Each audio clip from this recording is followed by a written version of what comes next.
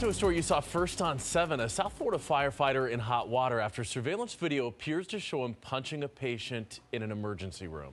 The firefighter accused of crossing the line and is now feeling the heat. 7's Danielle Garcia is live outside of Jackson Memorial with the story you saw first on 7. Danielle. Yeah, that firefighter is now under investigation after punching that patient inside Jackson Memorial Hospital multiple times. But that firefighter is actually not the one who is under arrest. Watch as this Miami firefighter punches a man handcuffed to a stretcher. 7 News just got this video of the incident from mid October, which happened inside Jackson Memorial Hospital. The patient was identified as Antonio Cruz, and according to this report, Cruz, who's homeless, was taken into custody for an unreleased reason and requested to go to the hospital after consuming cocaine and heroin. The report says that Cruz was, quote, agitated and screaming to the rescue personnel.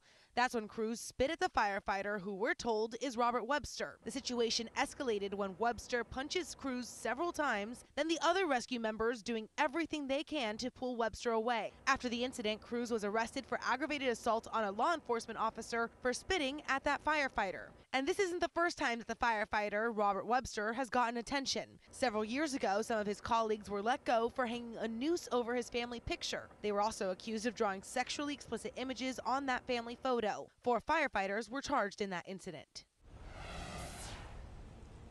And so the man who was punched is actually back in jail at this hour for petty theft and also another battery incident where he allegedly commit battery on another detainee. Meanwhile, as for Webster, the fire department says he has been relieved of duty pending an internal investigation. For now, I'm reporting live in Miami. Danielle Garcia, today in Florida.